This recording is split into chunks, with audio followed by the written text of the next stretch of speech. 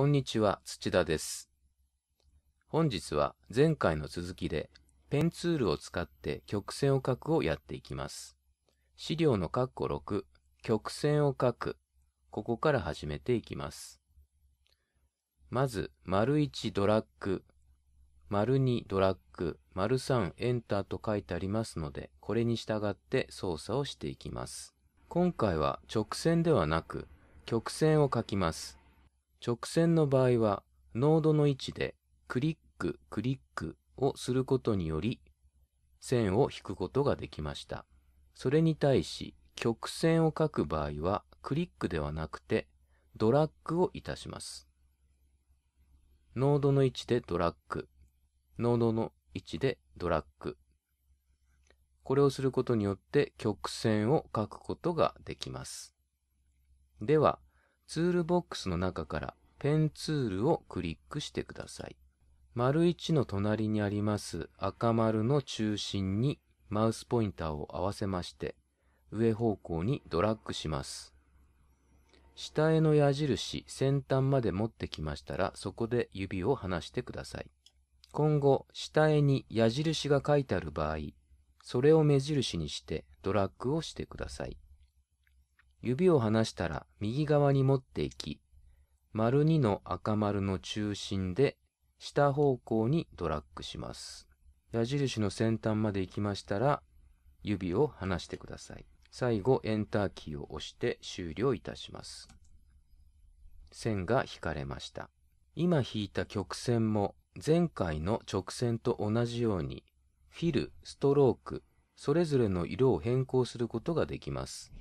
また、ストロークの幅も変更することができます。やり方は直線と同じです。それでは、ストロークの色を赤色に、幅を3にしてみてください。カラーパレット、色が並んでいます。そこから赤色の部分にマウスポインターを合わせて、シフトキーを押さえながらクリックしてください。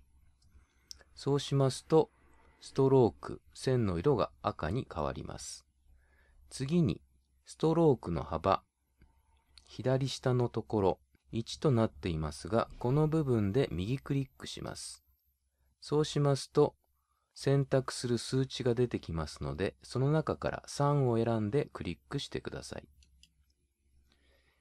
1だったものが3になりましたので、ストロークの幅が太くなったのがわかります。次に、今引いた曲線の形を調整したいと思います。ツールボックスの上から2番目、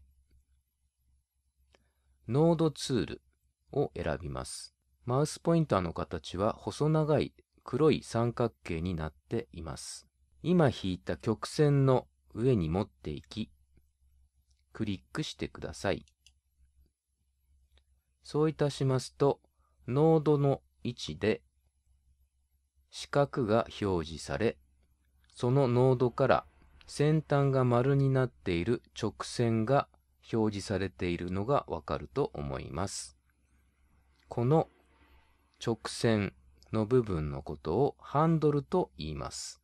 ハンドルは線をハンドルの方向に引っ張って曲線の形を変えていくという役割を果たしています。この先端にある丸をドラッグすることにより曲がる方向、曲がる度合いを調整することができます。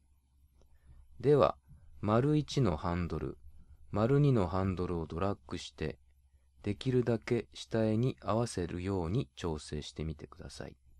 ハンドルの先端にある丸のところにマウスポインターを合わせますと赤色に変わります。赤色になった時点でドラッグをしてください。ハンドルを持っていった方向に曲線が引っ張られて形が変わることがわかります。右の方のハンドルを動かしてみます。下絵に合うように調整をして指を離してください。曲線の形を調整することができました。次に、カッコ7、波を描くをやってみたいと思います。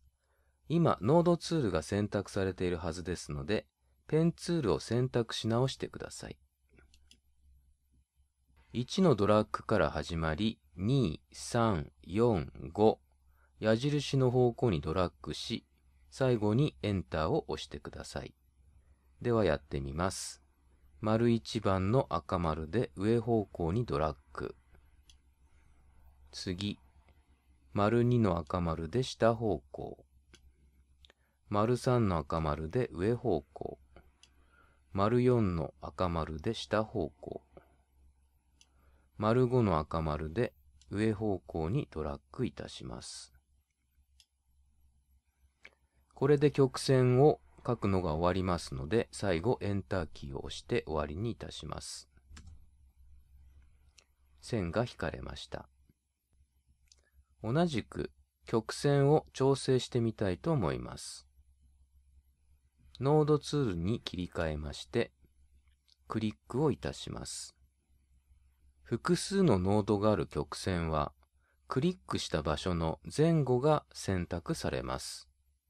今、ハンドルが表示されてない部分の調整をしていない場合、改めてクリックをしてハンドルを出してください。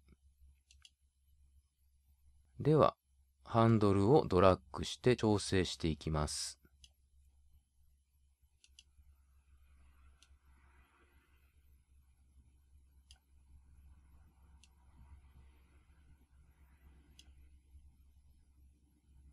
はい。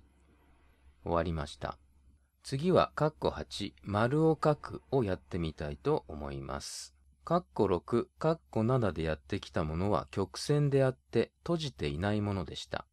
今回書く丸は閉じた図形であって、前回やりました三角や四角のように開始位置と終了位置が同じになります。これも最後のエンターを押さなくても図形が閉じた時点で描画は終了します。それでは1から5まで順番にやってみたいと思います。ツールボックスからペンツールを選んでください。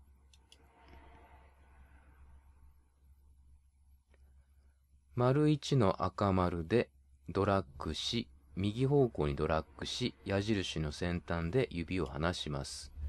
丸2番の赤丸で下方向にドラッグし、指を離します。丸3番では左方向。丸4番では上方向。最初の位置に戻りまして、ノードの四角が赤くなった時点で、同じく右方向にドラッグいたしまして、指を離します。エンターを押さなくても、図形が閉じた時点で描画が終了いたします。では、形を調整してみましょう。ノードツールを選択し、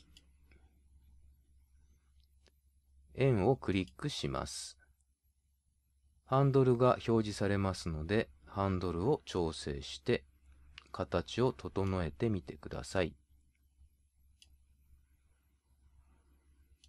はい、以上で終わります。次回は、カッコ9、おにぎり型を書くからやっていきます。